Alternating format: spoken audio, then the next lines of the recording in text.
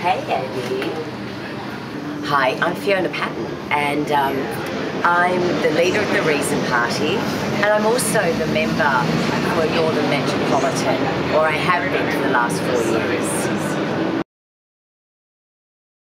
It's like there's too many to mention. Like I've, you know, I've been the deciding vote on so many pieces of legislation, but I think probably the things I'm, I'm proudest of was um, the initiating the voluntary assisted dying laws, uh, initiating the medically supervised injecting centre, initiating the safe access zones around abortion clinics.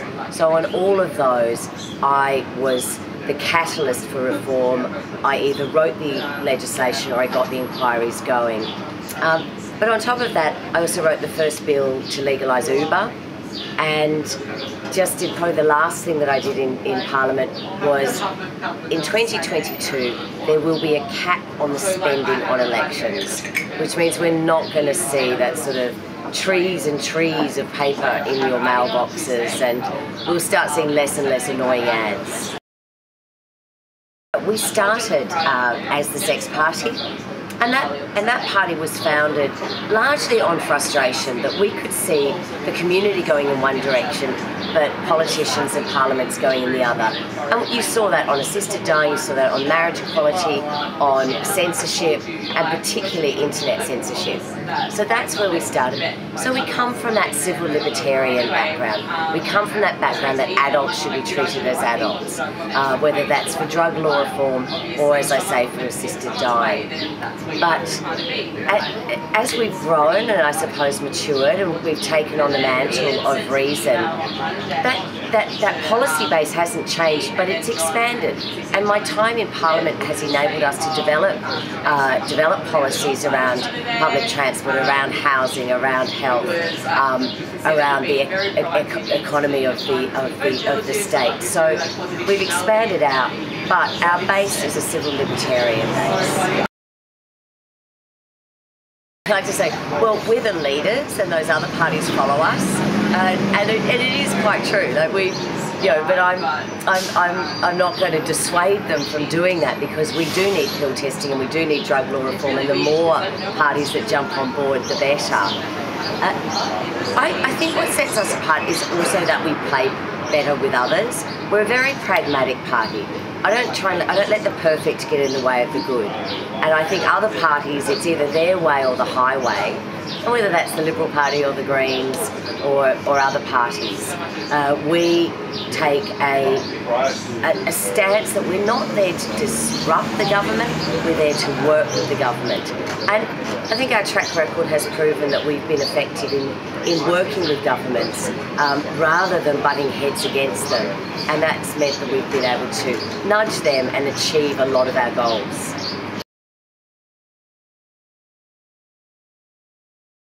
I don't think so. I, I think, you know, we call them progressive issues, but actually they're sensible. They're common sense issues. You know, for example, if you look at drug law reform, so if we didn't, if we treated drug use, adult drug use, as a health issue, not a criminal one, we would save the state $168 million in three years. Now, if I was a Liberal Party member looking for small government, looking for less tax, I would be looking for those types of savings. I'd also be looking at the added benefit of that, that it reduces our costs in the jail system and it also sets people on for an early intervention or early treatment. So again, saving money. So I, have been a lobbyist for 20 years. I have worked on, with both sides of government um, from the outside and I think if I'm fortunate enough to be re-elected and you know and there is a change of government I see myself being able to work effectively with the Liberal Party um, in still affecting change uh, for, for, for all the right reasons. A, that it's good for society, but, you know, B, it's actually good for our economy.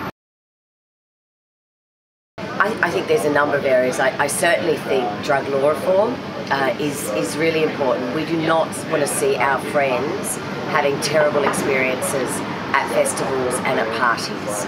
We, we want to see everyone safe We want to see everyone properly informed uh, around drug use.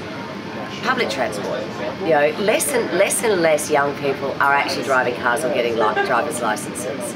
So I think we would want to see better public transport. I was really happy. We campaigned for 24 hour public transport on weekends in the lead up to the 2014 election and the government picked that up. So we'll continue to urge the government to, to be practical about, about better public transport.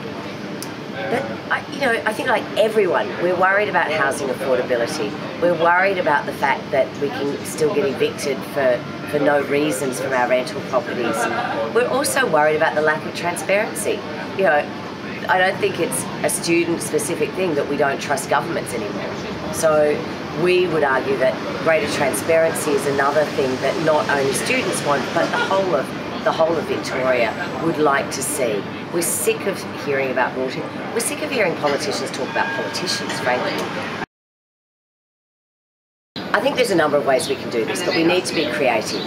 And it doesn't mean that governments need to be selling off land. There's things like build to rent, where the, the developer or the company is given a peppercorn rent, they build, they develop, and they manage that property there's ways to to reinvent some of the spaces that we already have. You know, I query all of those tax-free religious organisations that are sitting on billions of dollars of assets of property, and many of them are empty. Let's let's start addressing that. If, if we start freezing rents and if we start doing these sorts of things, if the government over-regulates the rental market, then that, that ends in disaster. You know, because you can't control the whole rental market. You'll be able to control pockets of it, which will affect the areas that are not controlled. We have put through fair rental laws, and, and I was part of the process of putting those laws through.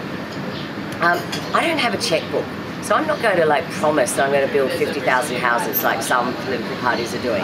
Like that it's it's just it's silly. What I can do is say that we need to provide better tax structures so that whether that's not-for-profit organisations or for-profit organisations have got an incentive to build affordable housing. And I suspect that that is our solution. And certainly that has proven to be the solution in countries like Canada, the Netherlands, Germany, and parts of the US. What I have heard of the law and order debate from both sides is not being smart on crime, it's being completely stupid.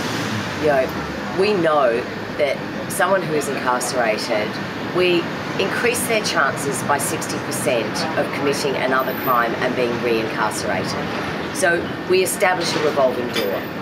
Mandatory sentencing doesn't work, never has worked, and I think is a clear blurring of the lines between the judiciary and the executive. You know, this is not how our country and our state is supposed to operate. What we need to do is we need to be looking at the causes of crime and preventing it. It's much cheaper. Uh, $1,300 a day nearly to lock up a 17 year old who's probably had a life of trauma, has been neglected by family. Now, frankly, if I had $1,700 a day to look after a troubled kid I wouldn't be putting them in Parkville. There would be lots of other options. So treating drug use as a health issue because we know the vast majority of people who are committing those burglaries are doing it because they've got a drug habit. So let's try and be smart on crime. There's lots of other options, lots of other options that not only are more effective but are cheaper. I think it's actually a very interesting proposition around wage theft because frankly it is theft.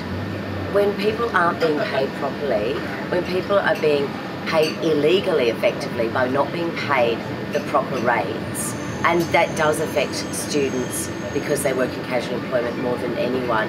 This is not about being protecting workers, this is just about ensuring that employers do the right thing. I don't want to ban greyhound racing. I you know, I'm not a huge fan of greyhound racing, but I don't want to see it banned. I want to see it operating ethically, fairly, and transparently. And, and as we know, prohibition doesn't work in any area. So you start pushing things underground, you start banning, prohibiting things, um, you end up in more trouble. So let's look at regulation and transparency. And I think that the industry is working very hard to achieve that. Uh, yeah, so I, I don't think prohibition is or banning is ever the answer for anything really. Again, this is about regulation, this is about finding that middle ground and that sweet spot. So it's about protecting the vulnerable, but treating adults as adults. I put up amendments just last year to uh, maybe put a maximum spin. So just a maximum amount that people can spend every minute um, in, a poker in a poker machine venue. To restrict the hours so that problematic gamblers actually, you know, can go home or have a reason to go home. When it, those venues are open 24 hours a day, there's no reason to go home. Um, look at the causes of problematic gambling. And I know from the people I've spoke to, a lot of it's around loneliness and social isolation, for women in particular, that they don't find another place to go where they feel safe. They end up in a poker machine venue. So I think looking at some of those issues, but yeah, I think the poker machine industry has had a free ride for too long, and we do need to bring back some regulation. As I say, I don't want to ban it, I just want to see some sensible regulation. In fact, the sensible regulation and recommendations that the, that the Competition and Consumer Commission recommended.